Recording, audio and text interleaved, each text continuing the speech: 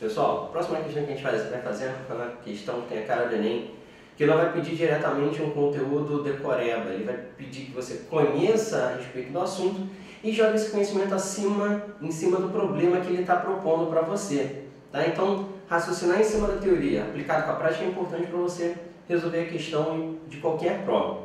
Então, a questão fala o seguinte, a análise do líquido coletado pelo aparelho bucal de certos pulgões que inseriram no caule de um feijoeiro adulto, revelou quantidades apreciáveis de açúcares, além de outras substâncias orgânicas. Plântulas de feijão recém-germinadas que se desenvolveram sobre o algodão umedecido apenas com água sob iluminação natural tiveram seus órgãos de reserva alimentar, folhas primordiais modificadas, sugados por outros pulgões. A análise do líquido coletado dos aparelhos bucais desses pulgões também revelou a presença de nutrientes orgânicos.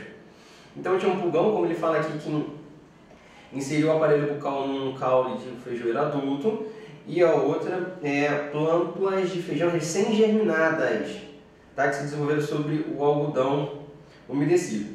Os resultados dessas análises indicam que pulgões que sugaram feijoeiro adulto e os que sugaram as plântulas recém-germinadas inseriram seus aparelhos bucais respectivamente no. Então, é, feijoeiro adulto, substância orgânica, né, o produto da fotossíntese, né, contém aí, por exemplo, ele sugando a glicose, ele está tá colocando o aparelho bucal onde? No floema.